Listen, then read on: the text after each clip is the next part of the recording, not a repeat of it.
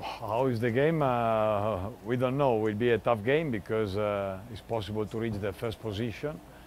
And for the final ranking, I think it's not a big difference between uh, the first and the second in our group because we will be also like a first one in the seventh, sixth, seventh, or eighth position.